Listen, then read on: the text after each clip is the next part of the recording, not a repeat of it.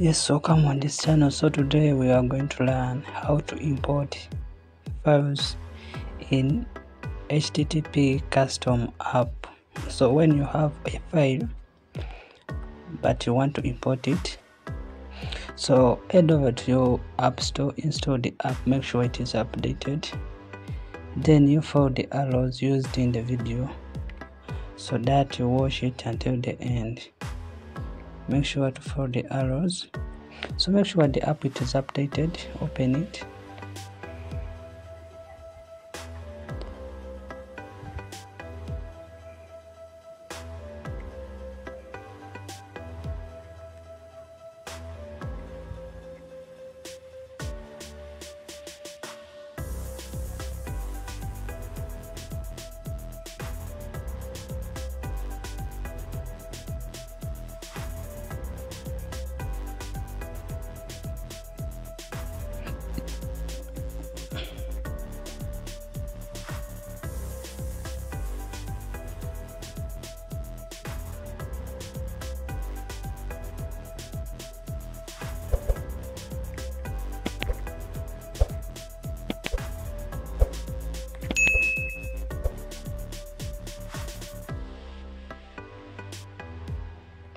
so when you reach here you select the name of your phone or the icon of your phone.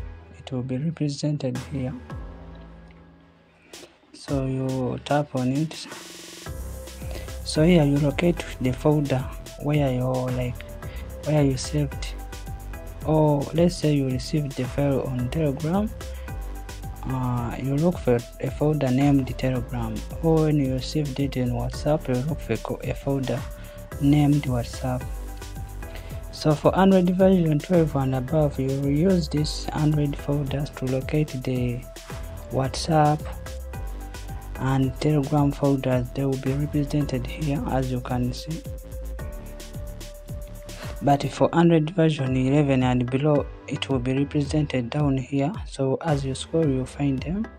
So when you created your own or after you locating where you saved your file or where you received the file let's say received it tap on it like you locate it then you tap on it.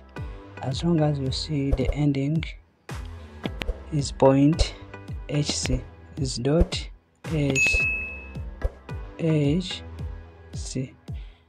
Meaning http custom. So you tap on it once. So the file will be imported. So after you importing the file simply tap on the play button which is the connect.